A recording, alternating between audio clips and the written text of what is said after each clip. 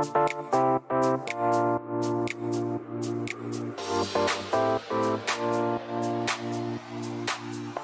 you.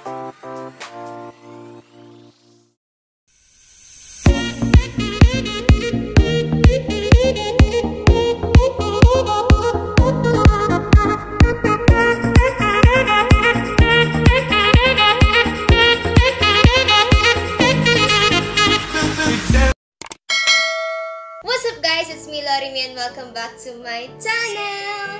It's been a while since my last upload at yun ay dahil nag-finals ako. Today is officially the start of my vacation!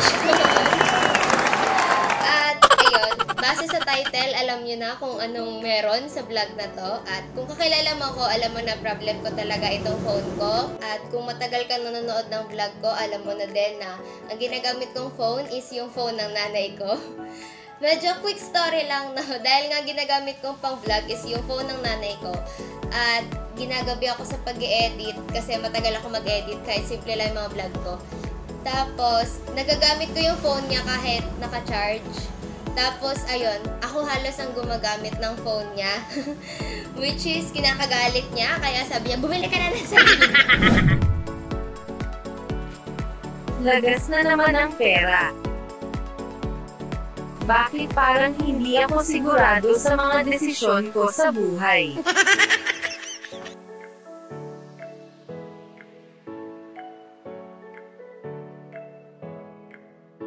Ayan na mga sis.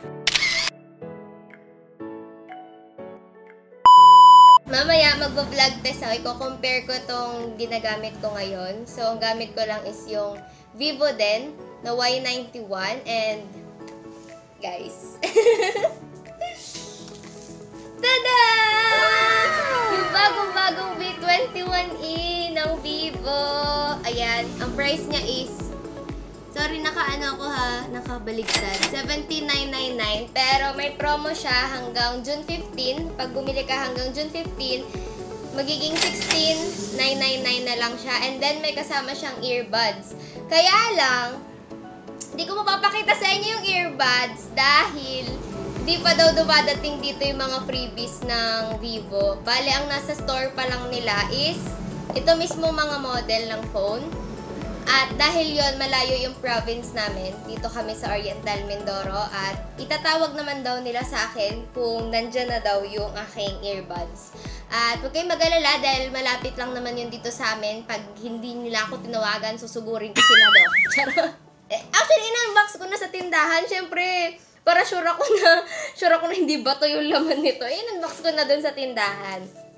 At saka, madami ding warranty-warranty na nasa loob. So, syempre, kailangan na siyang buksan. Kailangan magpaka-choosy ako. Ah, hindi po pwede. Ng black. Hindi ako masyadong mahilig sa mga black. So, ang kinuha ko ay Diamond Flare. And ito siya. Yan. Ito yung back niya. Yan. Diamond Flare. Diamond, diamond. And ito yung harap. Ayan. So, ayan. Nagre-reflect yung ring light ko.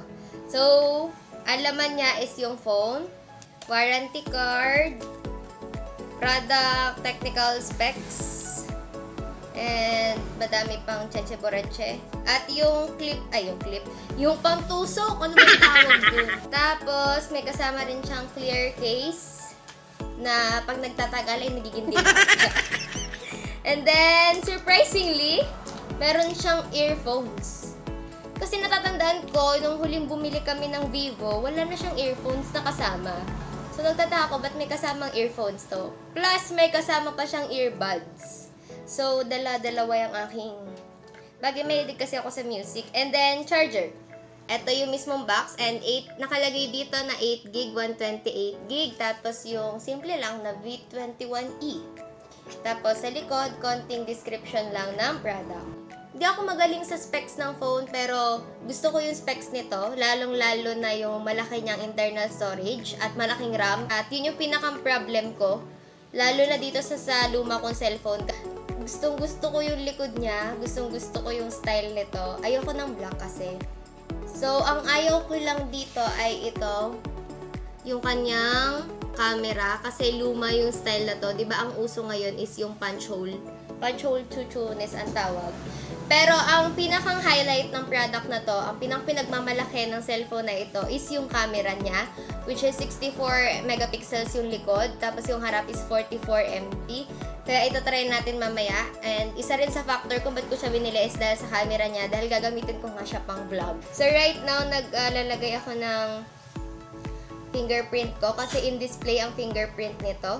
Not ko mabilis siyang mag um, recognize mabilis siya mag-recognize ng fingerprint. Nasa gilid pa din yung SIM, ah, yung lagay niya ng SIM at saka ng memory card. Unlike dun sa Vivo 21 5G na nasa ilalim. And then ito is meron pa rin siya nung lagayan ng earphones and yung ah, Vivo 21 Vivo Vivo V, V21 5G is wala pero may kasama siya nung parang adapter.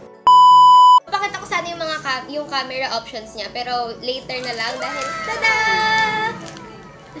Kleenex. Oo. Ngayon pa lang ako makakatikim nito. Diyos ko, 20 na ako. Ngayon pa lang ako makakatikim nito. hindi pala to ano, hindi pala to phone unboxing. First taste pala ng ano, Magnum. O, unang kagat. Tingnan natin kung worth it nga ba ang presyo nito. Diyos ko. Ah. Ito yung ice cream na tinawag akong mahirap sa iba't ibang lingwahe. Gagamitin natin itong ating um, flower. Oh, yan. Na-recognize niya na flower yung ating um, object. So, start tayo dito sa night mode. Ayan. Meron ditong super wide angle. And, no.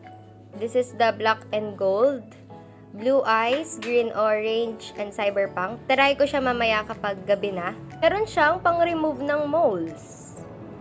Mole removal, kung gusto nyo. And then, ito yung pinaka gusto ko, yung video resolution niya may 4K. So, yun talaga yung inaabangan ko kasi syempre maganda sa vlog ko kapag malinaw. So, ayan. Dito naman, portrait. And, ito yung mismong photos niya. Ayan, merong super wide angle. Ayan. As you can see, sobrang lapit lang nito sa akin. Pero super, super wide angle. Ganyan yung itsura niya. Ito pa. And then, pag super macro, ayan. Ayan naman siya kapag super macro. Then, video. Ayan. Pwede rin tayong mag super wide angle sa ating video. And, ano to mga nasa taas. Ayan. Pwede magkaroon ng lights kung masyadong madilim. Ayan. Ito yung dual um, dual camera, dual view. Hindi ko alam kung anong tawag. Basta yung pwede ka mag-record ng dalawang back camera and front camera yung gamit mo. So, ito yung ginagamit ko ngayon. And pwede nandito ka sa gilid. Pwede din naman na nandito, yan, magkaharapan siya. Meron din siyang mga filter.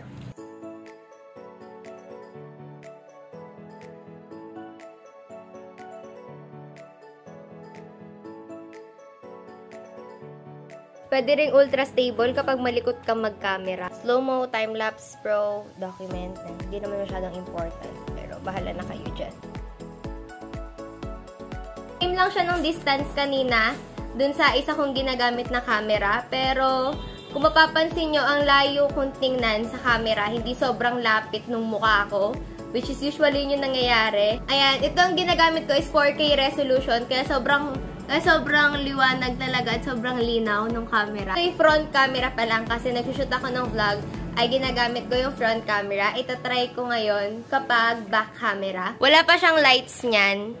And ganyan na siya. Pero may built-in kasi siyang ilaw. Ayan. Kung gusto niyo mas maliwanag pa. Pero pwede rin naman wala kasi maliwanag na siya nang wala. Aba, ibu-ibu naman! Ano, aking nanay siya nagbigay nito Ano sabi mo, reward mo to sa akin Reward kasi? ko kasi Mataas ang kanyang grade. Sa Wala pa! Wala pa! Nakaka-pressure naman! Noong mga nakaraan, eh, di Ah. ay paksa na ngayon bago matapos ito eh, mas mataas pa. parang, parang kailangan umulan ng uno. Sir, ma'am, baka naman. Dito ako sa labas ng bahay at pag natural light, ganito ang itsura niya. Tada! Aliwa, ang kinis ko naman dito. Ito siya kapag natural light. Kasi ang specialty ng Vivo kapag natural lights. Tutur ko kayo sa aming halamanan. Sobrang linaw niya. Naka 4K resolution to ha. Ayan, ang aming halaman na. Malapit na kami maging gubat.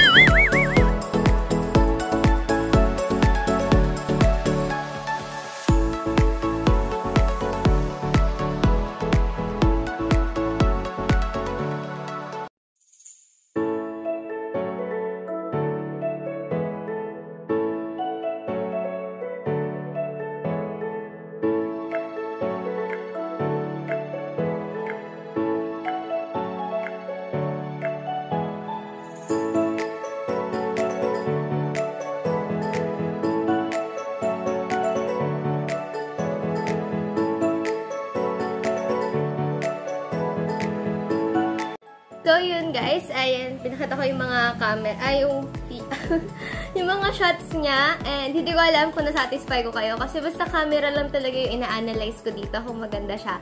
And so far, grabe, nagugustuhan ko yung results. Kasi ang linaw talaga niya. Hindi ako masyadong mahilig mag-post sa IG kasi nga, pangit yung camera ko. At di ba sa IG, syempre malaking factor yung maganda yung camera. And, ayun, sobrang satisfied ako sa camera nito. Grabe, kuhang-kuha niya yung in, um, pinopromote niya na camera eccentric daw itong phone na to. Kasi talagang nag-focus sila sa camera and considering na mid-range phone to, which is yun nga, 17,000 siya. Ay, actually, 18,000 talaga. Nakuha ko lang siya for 17,000. Parang ma-pressure naman ako kasi mag-release pala ng grade sa isang araw. Sana, sana naman makompensate ko to kahit man lang mga tatlong uno. Let me know kung may gusto pa kayong malaman about dito sa phone na to. Again, hindi ako expert sa ganito, pero if uh, tinitingnan niyo itong phone na to, at gusto niyo siyang uh, malaman kung pwede siyang pang vlog, kung gusto niyo magsimulang mag-vlog gamit itong phone na to, let me know and I can show you other specs pa na meron dito sa phone na to. Basta alam ko. Pero ayun, I definitely recommend this, lalo na sa mga gustong mag... Teka lang, ang ingay. I definitely recommend this, lalo na sa mga gustong mag-start mag-vlog and naghahanap kayo ng uh, murang phone. So, actually, hindi naman to mura. Mid-range nga kasi to. Pero, compared sa mga uh, sa mga camera, sa mga equipment talaga na pang vlog. Kung mag start ka pa lang naman, pwedeng pwede to. At kung tatanungin niyo ako overall, hindi lang sa pang vlog, kung sulit itong phone na to, at based sa first impression ko kasi ngayon ko lang to nahawakan, I super love it and I super recommend this um I super recommend this phone. Grabe, sobra yung performance lalong-lalo na sa camera.